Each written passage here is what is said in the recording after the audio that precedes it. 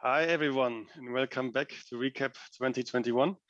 I'm Sebastian from the uh, CAP team, and I have the honor to announce our next session given by Leo van Hengel and Kushal Mokashi, um, both consultants from Reply. Uh, first time on stage uh, for Recap as most presenters today, and they will give an interesting talk about the about orchestration of micro frontends with several components actually.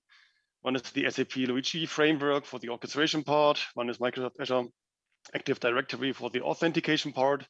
Then we, of course, they use CAP for the backend service part, and then UI5 for the front end. So interesting mix. Uh, looking forward to your session, guys, and I hand over to you. Thank you very much. Yeah, welcome to our session. Uh, I will first uh, share my screen. And I will start with a couple of slides. Not not too much. Uh, we don't want to see much slides, but uh, yeah. First, uh, we will explain a bit more about Luigi, and maybe it's new for some people in this round. And yeah, Kushal will explain more about it. Also about Azure AD. And then, after that, Uh, yeah, we will quickly go to the coding and the demo. So UI5 and CAP, I think we don't have to explain in much detail. We just show the code to you guys. Okay, Kushal, you can. Uh, hello, everyone. Uh, so, I'll just explain like in one slide, like what is Luigi micro um, So It's an architecture diagram of the Luigi. So it has two parts, basically Luigi core and the Luigi client. And the communication between the client and core can be done through mm, dedicated APIs, uh, what they have designed. Uh, so it is used for uh, orchestration of different micro front frontends, breaking of your monolithic applications into different micro front frontends. So different micro frontends constitute a Luigi client, and then Luigi core is a main config file where you communicate to the outside world uh, of different uh, databases, backend, uh, and so on. And then the communication can be done through the APIs. And um, other stuff which we used is Azure AD in our app. Um, so this is the authentication flow diagram, um, what we used for in our application. And then, as you know, so it's Azure Active Directory, Uh, where we used uh, this for authentication uh, part as a third-party authentication part, and it supports um, OIDC protocol and OAuth 2.0 implicit client flow for authorization. So as you can see also on the screen, this is the mm, flow. So the browser is the one which user using, and then the web server is our backend. So when the user navigates, uh, when we use this uh, uh, Microsoft AD authentication part, this is how the flow will be. So when the user clicks on or goes to the app, the endpoint, he will directly navigate to the web server, and then that will redirect you to the authentication screen with the with for entering the user credentials. So um, and that will be done through providing a client ID and all uh, in the Azure AD setup, which we'll show uh, in some time. And then when the user enters all the credentials uh, and gives the consent to some permissions, then that will call will go to this endpoint OAuth 2.0 authorize. That's the endpoint of the Azure AD. And then, then it will returns an ID token to the browser, and the browser takes that ID token and will it will redirect uh, and send that to a web uh, server redirect URI. This redirect URI also you will um, configure in the when you're registering your app in Azure AD.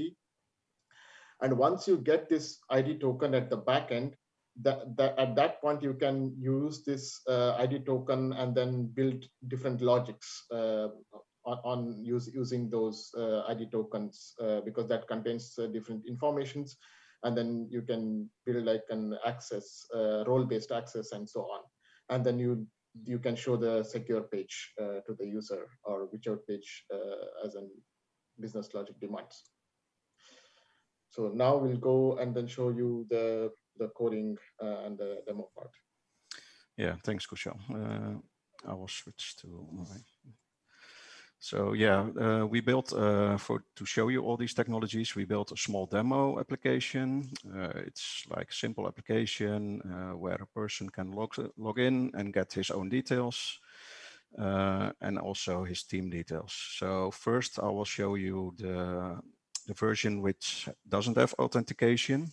So in this version, it's without the Luigi authentication part and also the the backend security is not implemented yet um, yeah, it's a couple of things are hard coded in this application. So I load it.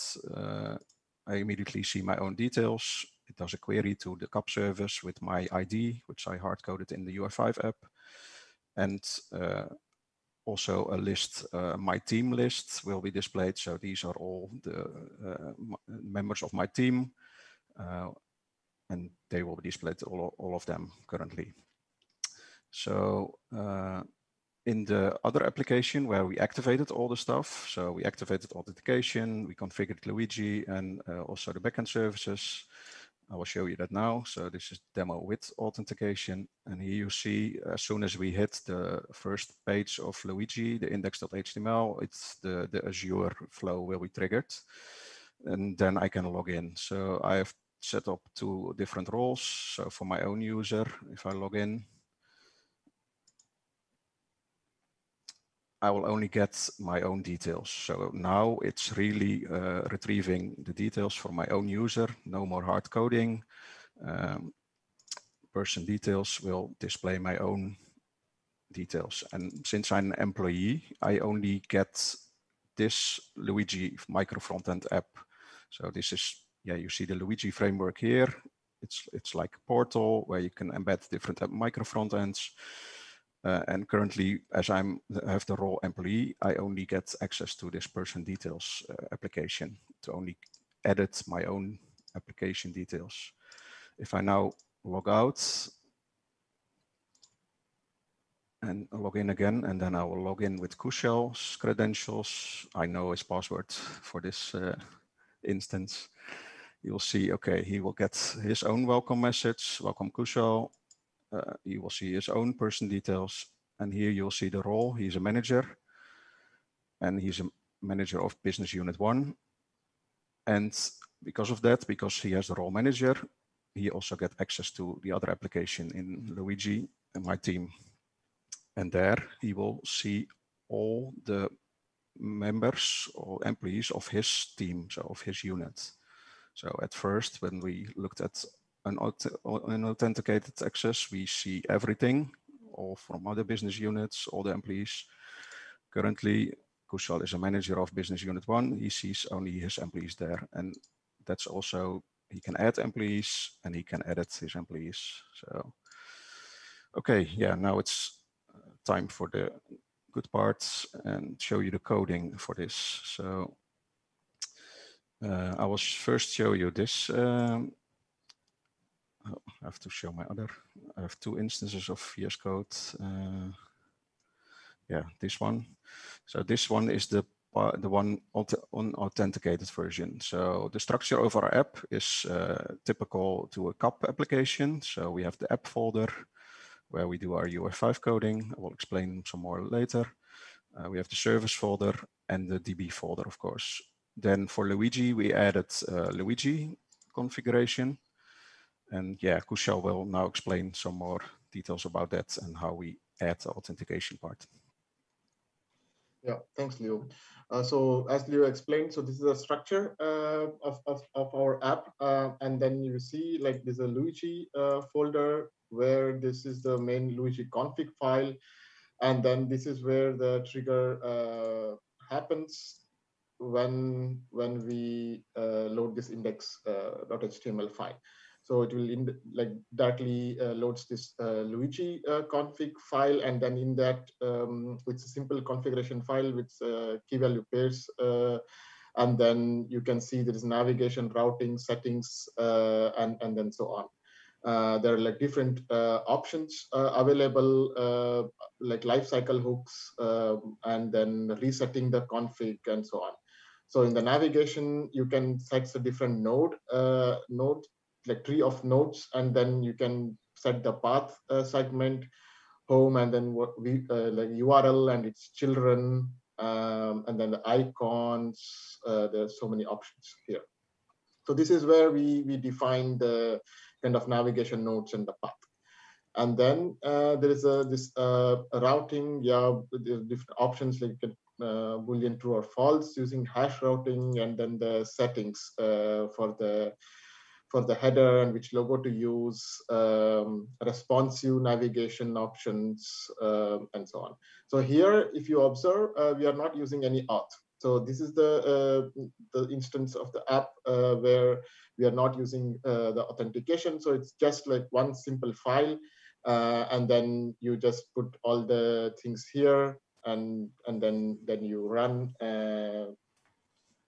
the the the, the micro the different UI applications will be uh, embedded as a micro front ends and then using this uh, Luigi uh, framework. Now I will show uh, the the other instance of the um, Visual Studio Code where with we used authentication. Uh, Leo, can you open? Yeah, I'm sorry, I will switch. Uh, I see the the view yeah. is not on your screen. yeah. yeah, this one. Yeah, yeah, thanks. Uh, so like here, if you see uh, the difference in that uh, part is in this Luigi um, config file, we have okay, uh, we have uh, this auth. So this is where this authentic, this whole authentication stuff we do, and then we did some modularizing approach uh, where we put different navigation in a different file and then nodes in a different file, and we called it. Uh, so this auth part, uh, if you see here, so this is the authentication part, and then we are using the OAuth2 implicit grant flow, and then we we are mentioning like which IDP provider uh, we are using, and then this is where the the URL that is authorized URL which you you saw uh, in the in the architecture diagram that where it, it goes and this is where it talks to. And then logout you are like a URL where what HTML to load uh, and this is the auth uh, data mainly. And the, the response what you get uh, from the Azure AD is the ID token in, in form of a token that is ID token and this is the client ID which you have to give. And this client ID, you will get it when you register your app in um, Azure AD. And then you can define the scope. Uh, this is a default scope, which presently we took. There are different options uh, also in the Azure AD.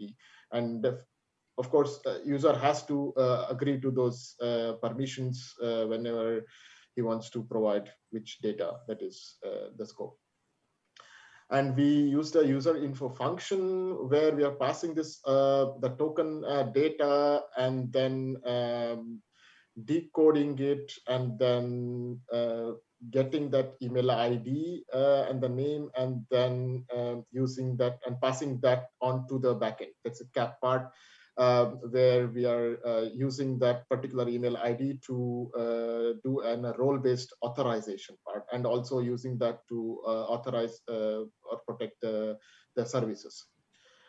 Uh, and yeah, this, this is the pass, passing the function and then there's a logout function. Yeah, so this, this is the main important stuff like here in Luigi part. And then you can see other part in this file is lifecycle hooks, which was not there in the without authentication. So here, once we get this authentication done, so then we are reloading this, changing that Luigi config changed and just reload the navigation. So if there is no authentication, the whole navigation tree will be loaded without any constraints and so on. Now we are saying that, okay, once our uh, authentication is done and authorization stuff, logic in the backend is done, then you just reload this only navigation part. So it's a nice feature that you can reload only some part of the the, the Luigi config file. Not you don't you don't need to like reload whole uh, config file. Um, and then if you see in the navigation now, uh, yeah, yeah, this this is the navigation. Then this is the nodes which we use it in the navigation. file. So here you can see uh, two more extra stuff that is, a, we are using the context. We can define the context between this Luigi client and the core and the user info is the context and there are different constraints. Uh, this we can define like, okay, employee and manager will be able to see and then, okay, for this only manager will be able to see uh, and, and so on. Uh, now I will just quickly show uh, another part uh, of the Azure AD. Uh, can you uh, open? Yeah, one moment. So, sorry, I'll take the mouse. ah, yeah, now I'll be able to see that. Yeah. Yes. Yeah. So just quickly show how you can just register the app in the Azure AD uh, part. Uh, so this is the, you have to log in into your Azure uh, cloud. Uh, and then you can go to this Azure Active Directory uh, part, and then there you can go uh, app registration. So when you go into the app registrations, you have option to register your new application. Uh, and then we have already registered here. And when you register your application, you'll get this client ID or application ID, which we saw in the code, which we had written or copied this. Uh, this is important. And then um, that's it. So it's like so so quick and easy stuff. Uh, so you just try to register your application. You get this id use this. And then in the authentication part you just have to give the redirect uri so that uh, azure will know where it has to send the id token back to you. So in which which uri uh, so it will come for us it will come back to now callback.html uh, files. That's where it sends. And then from there we read uh, and so on. And then you can specify storage types, local or the session. So yeah, this is from the authentication part and the Luigi uh, point of view, uh, the application, and then now Leo will explain uh, more interesting uh, CAP uh, and then how how how the authorization and the services part done. What yeah. Thanks, thanks, Kushal. Uh, yeah, Kushal showed uh, how to, to do the authentication in Luigi, and I will now show uh, how we uh, implemented that in the backend. So in the backend services, uh, quickly go to our schema. Uh, yeah, we have these persons and units, like two simple entities, and, and the role is also one of the fields here.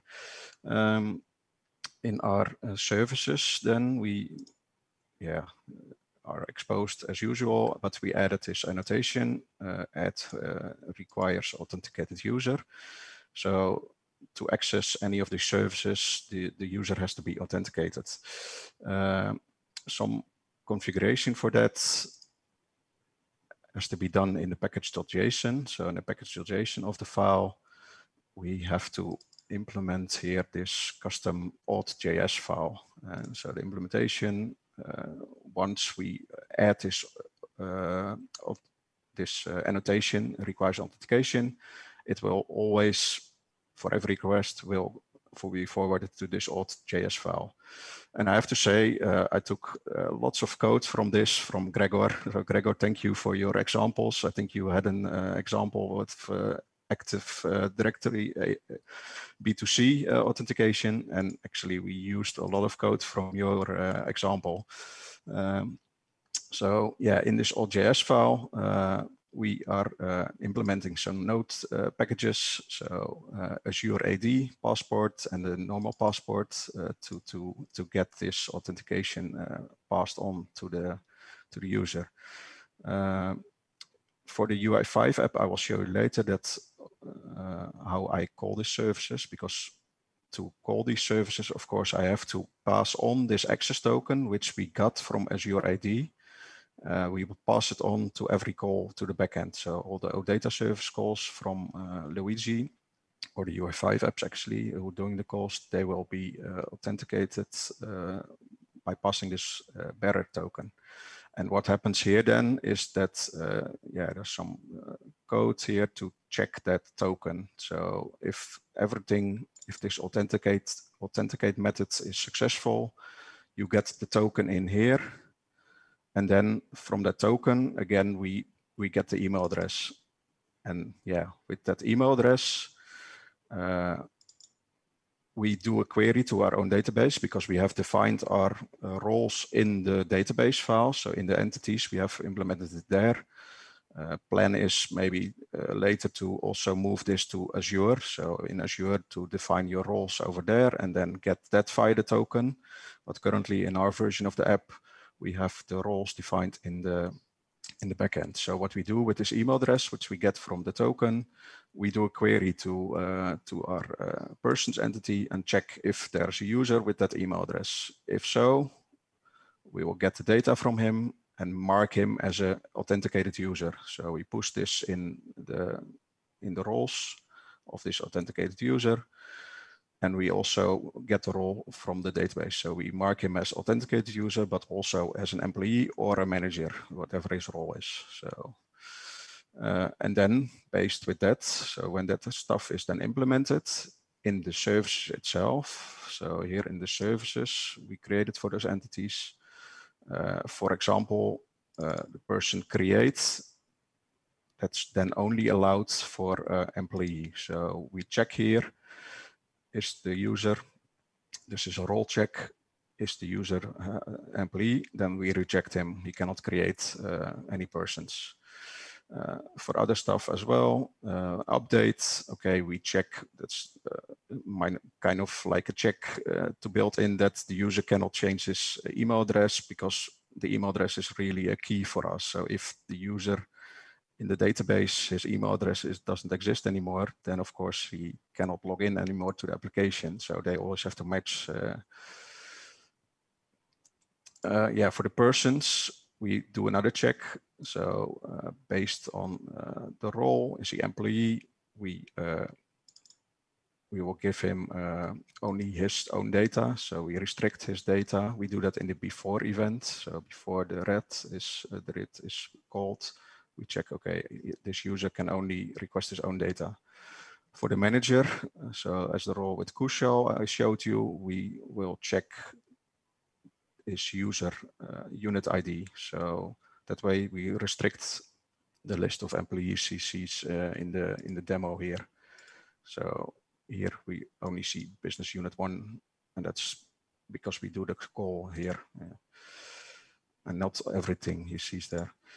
Um, yeah, that's actually the part in, in CAP we built. Um, and then this last part, the UI5 apps. Yeah, the UI5 apps, which are all in the app folder and they're differently called. So the home app is just a simple app with not much detail, uh, with only the welcome message. And the welcome message is actually read from the Luigi context because we, in the context, we also have the user details. So we just display the first name there's no OData calls in this app application. Uh, in the person details, so similar uh, basic UI5 application structure uh, with the manifest. Uh, we use the OData v2 version here. And yeah, in the components, we pass the bearer token. So we initialize the OData model and we get the token from the Luigi client because that's where where it's available once the authentication has happened, and we pass it on to the backend service. Um, and then in the detail controller, uh, let's see, yeah, I, I have of course the Luigi context. So in the in the unauthenticated app, this is hard-coded, but here we get the ID from the context again, and we call the person's entity with that uh, call here. Um, I think that's it for now. Uh, just want to show you maybe. So we've seen everything now. Oh, uh, sorry, I have to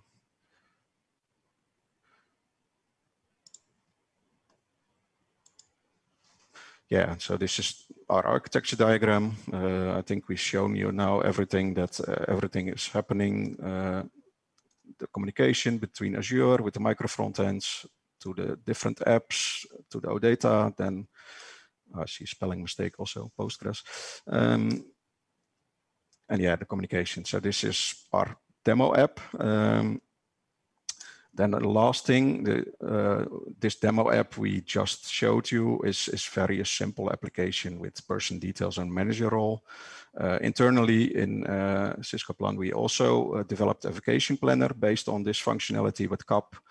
uh, with some more different roles. So an employee role, uh, a business unit manager role, and a, a, partner function. So for example, you see here uh, a person, his own vacations, and the manager function. He can see all his employees, and the partner functions can see his all business units. So everything. There's even four different roles in this application. Though. So that's a bigger application we developed internally, and which is currently live and used in uh, Syskoplan that's it from our side. Um, thank you very much for watching. And yeah, if there's any questions, we're happy to answer them. Yeah, thank you all. Thanks a lot, uh, Leo and Kushal. Really a great session. Thanks so much. There were some questions uh, in the question tool. Let me uh, ask you one or two and try to be brief as the next session is about to, to start soon. Um, the first one was, what are the main advantages in using micro front ends? Yeah, that's a good question. Uh, usually, micro front ends are, are, are, used in bigger teams. So, in, in, bigger teams where applications need to be developed in in bigger teams, they say, okay, you can use micro front ends to separate uh, your applications uh, and, and don't have dependencies. So you can embed in in Luigi different kinds of applications and develop them uh, all standalone. And if somebody updates an application, another team doesn't have to be involved. They all can be standalone. Of course, for the real framework to, to make this integration and authentication happen, there's a bit more needed. Uh, yeah, that's one of the advantages. Uh, and the project management point of view also. So it's it's it's completely independent. You can do the complete flow so development, testing, deployment, like not dependent on each of the uh, micro front and each of other apps. So each individual micro front end itself is an app. So it just mm, yeah yeah right. Maybe one brief one, and then I think we can continue in the question tool or in the in the evening session. Um, is Luigi similar to the Fiori launch app service? Uh, I've not really used the Fiori Launch App service, but uh, I, I, think Luigi can also be used for other technologies. So it's yeah, yeah. you can embed Angular, React, whatever you like, uh, your own applications. I'm not sure if that's possible with Fiori App Launch Service, uh, if you can only embed Fiori apps there. Yeah. Yeah, it's a technology agnostic, uh, Luigi. Yeah. All right. Great. Um, then, yeah, thanks again to both of you. Uh, both of you. Would be great if you can continue answering some questions in the tool on the evening uh, event. Thanks a lot, and looking forward to the next presentation. Thank you. Thank you for the, very much. Thank you.